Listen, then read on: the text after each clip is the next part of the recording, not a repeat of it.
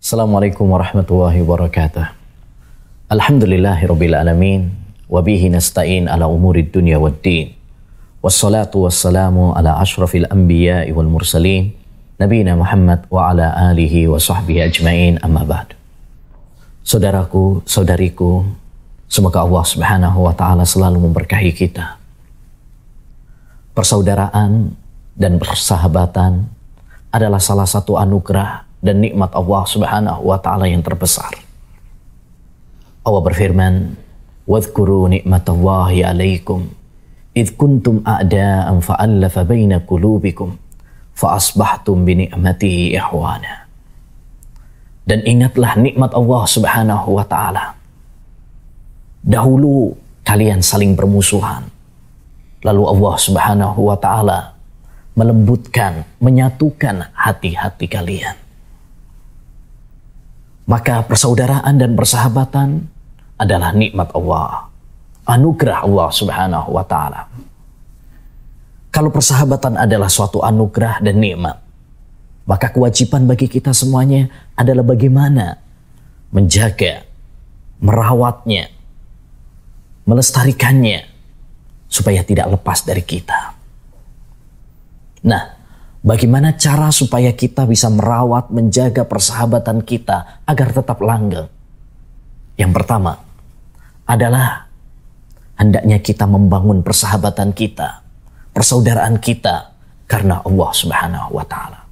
Bukan karena tendensi dunia, bukan karena kesamaan ras, suku, negara, tetapi karena iman. Allah Subhanahu wa taala berfirman, "Innamal mu'minuna ihwah." Sesungguhnya orang-orang yang beriman, walaupun beda negara mereka, ya, ras mereka, warna kulit mereka, tapi mereka adalah orang-orang yang bersaudara.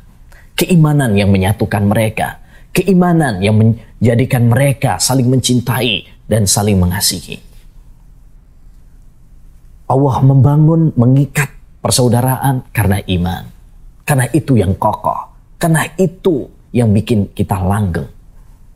Adapun persahabatan yang dibangun karena dunia, ketika dunia tersebut hilang, akan retaklah persahabatan dan persaudaraan.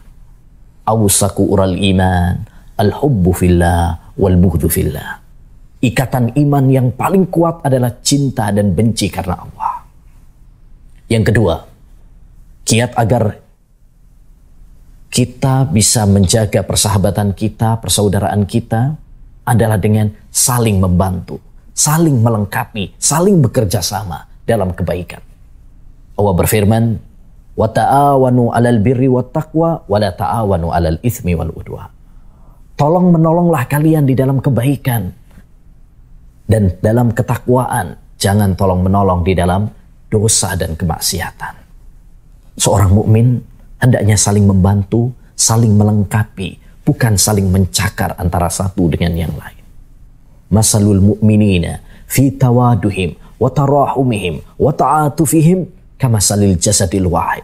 Idza staka minhu adwan tada'alahu sa'iral jasad. Perumpamaan orang yang beriman itu seperti satu tubuh. Tatkala salah satu anggota tubuhnya sakit, yang lainnya merasakan panas. Dalam riwayat yang lain Rasulullah menggambarkan seperti bangunan yang saling menguatkan antara satu dengan yang lain. Ya, kita harus bekerja sama. Harus saling melengkapi. Karena itu akan menyenangkan saudara kita. Inna min afdalil a'mal an tudhila surura fi qalbi ahik. Termasuk amalan yang paling baik, kamu menyenangkan saudaramu. Kita bantu mereka dengan tenaga kita, dengan harta kita, dengan waktu kita. Kata Nabi la an fi hajati ahi khairun li min an a'takifa syahran fi masjidi hadha.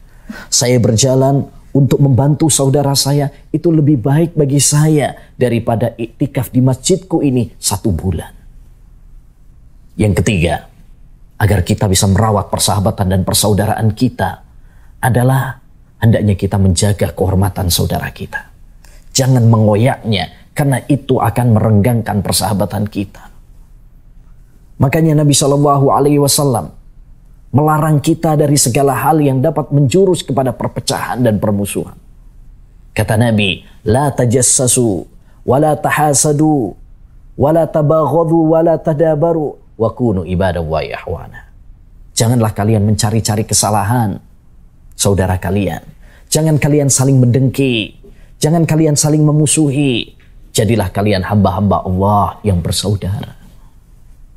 Hindari segala hal yang dapat ya, meruncingkan, meretakkan persahabatan kita. Ayyuhal ihwah, rahimani wa rahimakumullah segala perpecahan dalam persahabatan. Hendaknya kita evaluasi karena itu biasanya adalah karena dosa kita. Kata Nabi ma tawadasnani summa iftaraqa illa lidzanbin yuhdisu ahaduma. Tidaklah dua orang yang saling bersahabat mencintai karena Allah lalu berpisah kecuali karena dosa yang dilakukan oleh salah satu atau keduanya. Yang selanjutnya di antara kiat agar kita menjaga merawat persaudaraan kita adalah dengan ya saling memaafkan. Saling memaafkan dan berbaik sangka. Semua kita pasti pernah salah. Kullu bani Adam khata. Setiap anak Adam itu pasti punya salah. Tetapi hendaknya kesalahan tersebut kita maafkan. Sifat orang-orang yang beriman adalah saling memaafkan dan bersangka baik terhadap saudara kita. Berikan udur kepada saudara kita. Seorang ulama pernah mengatakan, jika salah seorang di antara kalian, saudara kalian salah, maka berikan kepadanya 70 udur, 70 alasan. Jika kalian tidak melakukannya, maka yang bermasalah adalah hati kalian.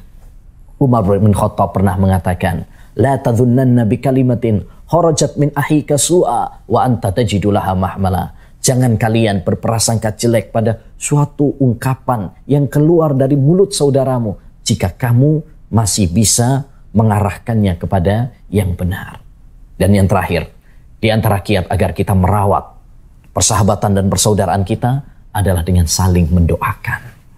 Kita doakan saudara kita dengan kebaikan. Baik dengan adanya dia dengan mengatakan jazakallahu khair semoga Allah, Allah membalas kebaikanmu semoga Allah memberkahimu. Demikian juga di kejauhan. Rasulullah bersabda ma min abdin muslim yad'u li akhihi bi dhuhril haib illa qala lahul malak walaka bimisal.